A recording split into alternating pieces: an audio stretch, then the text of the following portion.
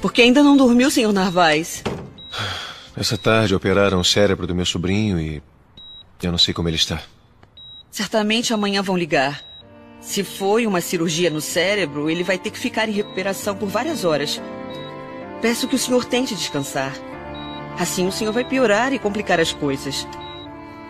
Tenha uma boa noite.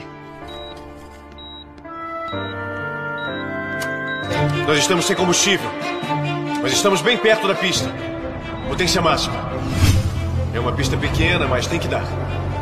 É um lugar deserto, eu posso ver. Que Deus nos proteja.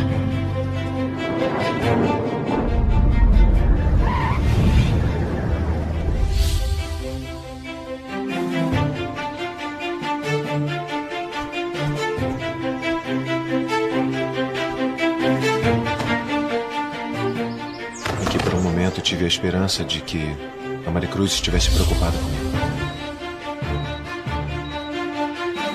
Amemos-nos de novo como antes.